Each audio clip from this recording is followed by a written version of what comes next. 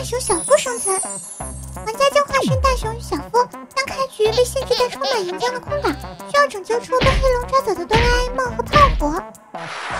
大熊大熊，哆啦 A 梦和胖虎都被黑龙抓走了，我们还被岩浆包围了，怎样才能够救他们呀？小夫，你别急，这里是岩浆空岛，我们想去救哆啦 A 梦和胖虎，必须先想办法离开这个空岛到对面的传送舱去，用传送舱去了焰星。原来这里还有传送舱，那不是很简单吗？区区岩浆，我直接召唤麒麟坐骑跑过去不就行了吗？哎，我怎么召唤不了坐骑啊？没用的，因为为了防止玩家去了焰星，限制我们不能召唤坐骑。啊，那怎么办呀？明明传送舱就在眼前呢，我们却过不去。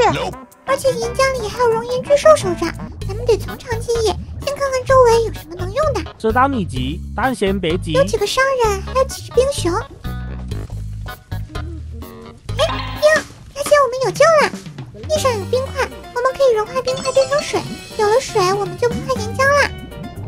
么高温的岩浆都融化不了它，那我们怎么融化？这里有沙漠商人，沙漠商人会出售液化剂，我们提取星星礼盒就能跟沙漠商人购买液化剂呀，这不就有了？顺便再买玻璃瓶，先把冰块变成水，再用瓶子把水收集起来，直接浇灭岩浆过去。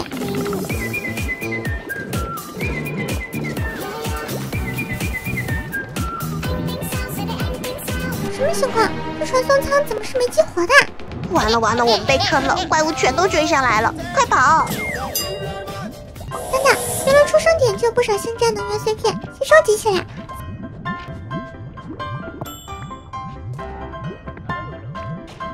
四个能源碎片刚好可以合成一个核线。趁他们还没反应过来，我们赶紧去了眼星。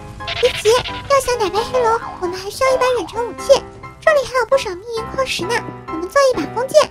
制作弓箭需要两根密银、一张皮革，还有两条丝线。皮革可以击败冰神获得，但是丝线怎么来啊？别担心，蓝衣服的沙漠商人有时会出售丝线，只要找他买就好了。好家伙，果然是黑商哎，什么东西都卖。一颗星星能买到十八条丝线，其实很划算。弓箭制作完成，但是问题又来了。有了弓，可是我们没有材料做箭呐。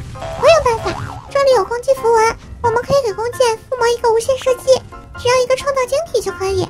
不过地心人只有到了晚上才有，我们先等等吧。在这之前，先借守卫的铁装备用一下，增强自己的防御力。天黑了，嘿嘿，夜黑风高夜是个猎杀地心人的好时机。野怪全都跑出来了，目标地心人，哒哒哒哒哒，这可是附魔无限射击的必备材料。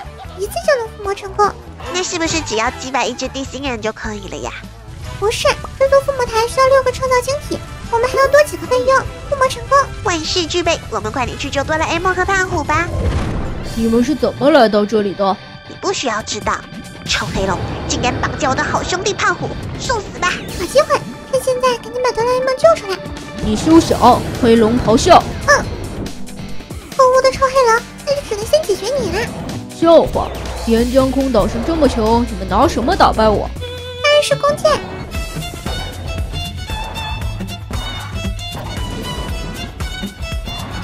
呃，我就是想借个百宝袋用用，怎么就这么难？想得美！百宝袋是给我用的，成功击败黑龙，哆啦 A 梦安全了。